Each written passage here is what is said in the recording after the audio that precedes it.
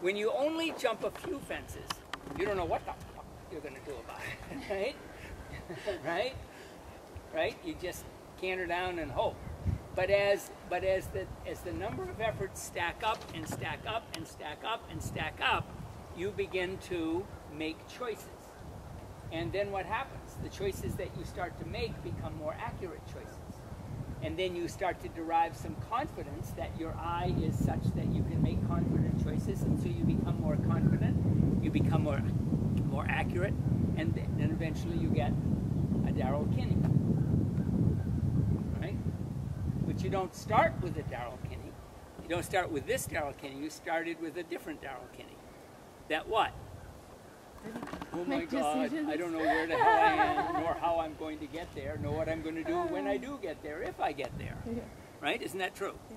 I mean, not you weren't terrible, but you you weren't like an advanced rider. But Daryl has had what advantage? She jumps and she jumps and she jumps and she jumps and she jumps and she jumps and she jumps. And so, for you guys who maybe don't have, you're not, you know, you're full-time veterinarians or what do you do? You're an artist. You don't have horse after horse after horse to jump every day. You're doing other stuff. You have to maximize the time that you do spend by replicating at an easier level so the horse can take it the same kind of experiences that Buck Davidson had. But you, you can get a lot better than you are by what? Making the most of your opportunities. And to me, one of the best ways you can make the most of the opportunities is when you do jump, have small enough fences so if you don't, so if you mess up, it doesn't matter too much. And practice. And little by little, as you start to make those choices, the choices will start to become magically become better choices. And you won't even know why you did it. You won't even know why. It'll just be from the accumulation of Keep the canter. One, two, three, three, two, to the left. Good. One, two, one, two, three, three, two, one. Yeah, good. Head up. Pick her head up, up, up, up, up. Good. Now get her head up.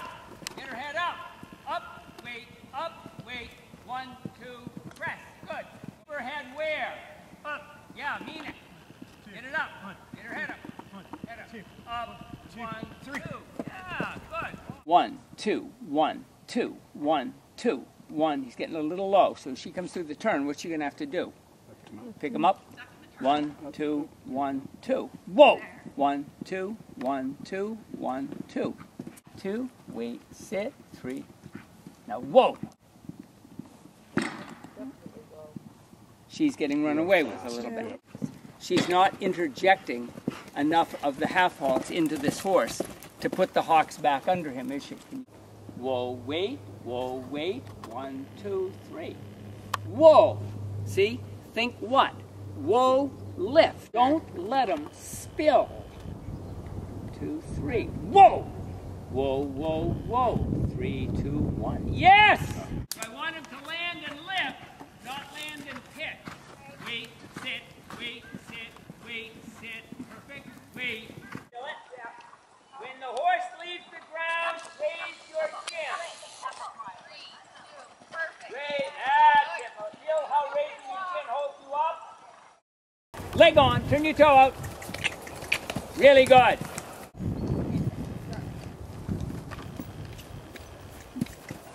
Good. Stay back and look up. You're looking in the sky. Looking in the sky. Really good. Now look up, look up, look up, stay back. Good girl. Really good. Heels down, leg on, leg on, leg on, leg on, go. Look up, look up. Good. Keep your leg. Leg. Good. Back. One, two. Good. Leg. Three. Good girl. Lean it with your lower leg. Leg. Leg. Leg. Good. Look up. Perfect. Stay back. Look up. Good. Perfect with the leg. See how her leg kicked out in front?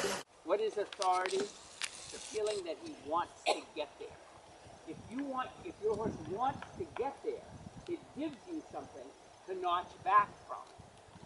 If the horse is kind of lopey and then you half off, you take you take away from not enough to begin with. Does that make sense? Yeah. So you want that feeling of a tiny bit being run away with. And it's a little bit daunting.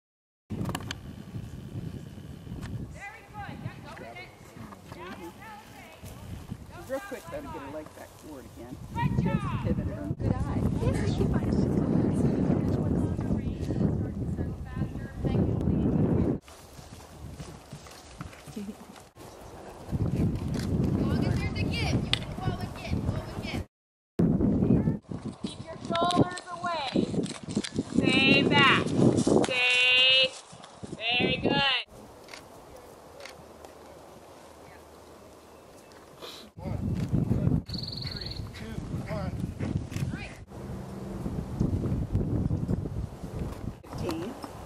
But he's been there and done that for a while. He's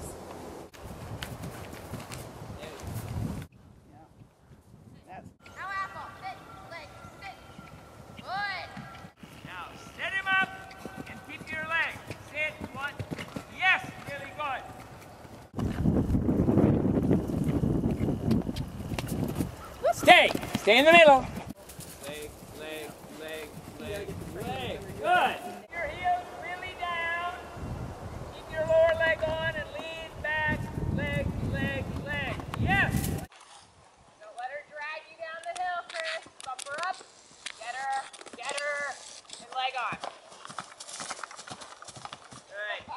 So your seat bones and your ankle bones are both touching. Your seat bones will touch the saddle, your ankle